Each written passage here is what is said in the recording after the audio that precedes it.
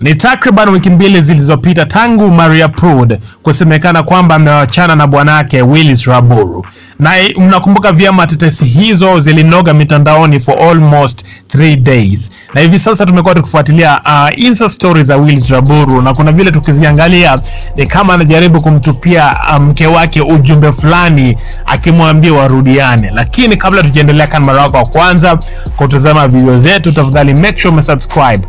Na hiyo kengele tukatukia hapo mbele, make sure umebonyeza pia.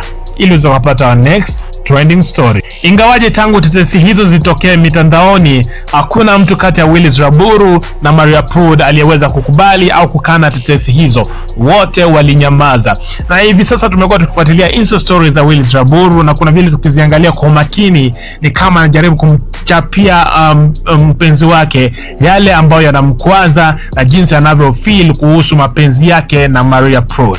Na in one of his insta stories, Raburu alipost picha ambayo imeandikwa hivi relationships i was surprised to learn that it's perfectly okay to feel uncomfortable and talk about hard emotions that the point wasn't to avoid on or fix them.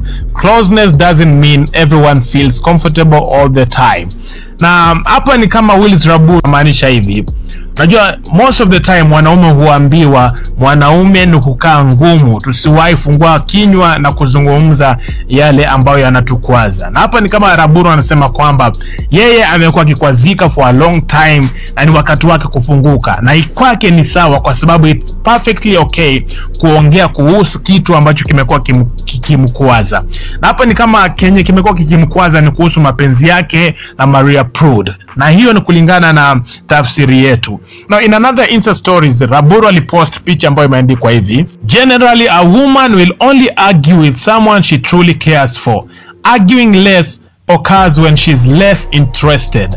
Hapo ina maana gani? Mapenzi yake na Maria Prud, unajua vile amekuwa na panda shuka kila mahali, na wamekuwa wakigombana, kumekuwa na ugomvi huku na kule, na huu ugomvi ni kwa sababu ya zile tetesi kwamba Willis Raburu amekuwa na mpango wa kando, na ukiona wakigombana inamaanisha kwamba bado Maria Prud anampenda na kuna vile pia bado anapendana na Maria Prud, na ukiona kama wagombani inamaanisha kwamba mapenzi yao ni kama yameisha.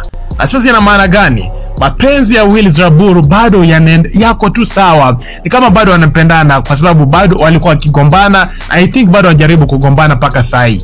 Maybe that's what I think. Na in another insta stories, Raburu akapost picha ambayo imeandikwa hivi: being happy doesn't mean everyone is perfect it means that you have decided to look beyond the imperfections.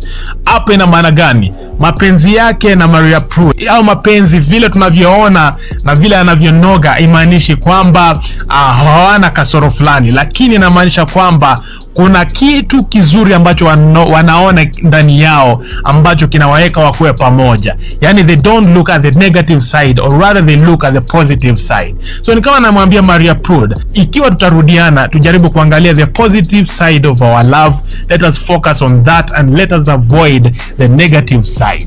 Lakini swali ni is Raburu ready to change his ways? Na kweli Maria Prud ako redi kumrudia Willis Raburu?